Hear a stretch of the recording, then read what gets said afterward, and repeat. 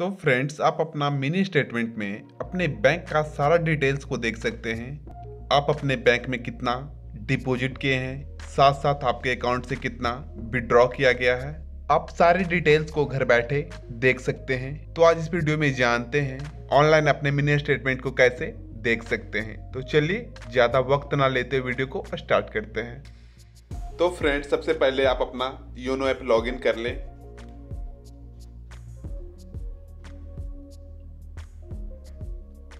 YONO app login करने के बाद आपको अकाउंट पे क्लिक करना होगा।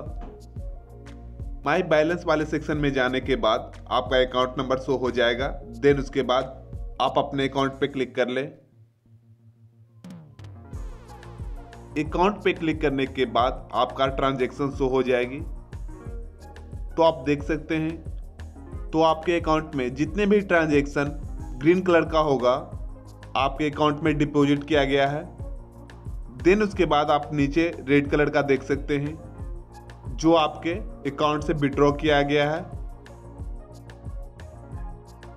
आपको दो सिंबल दिखाई देगी फ़र्स्ट पासबुक और दूसरा जीमेल आईडी का। तो अगर आप पासबुक पे क्लिक करते हैं तो आपका ट्रांजैक्शन आपके फ़ाइल मैनेजर में सेंड कर दिया जाएगा, जिसे आप ओपन कर देख सकते हैं। सेकेंड जीमेल पे क्लिक करने के बाद आपके सारे ट्रांजैक्शन को आपके जीमेल अकाउंट पर भेज दिया जाएगा।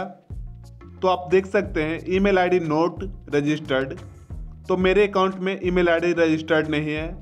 अगर आपके अकाउंट में ईमेल आईडी रजिस्टर्ड है तो आपके ईमेल आईडी पे सेंड कर दिया जाएगा।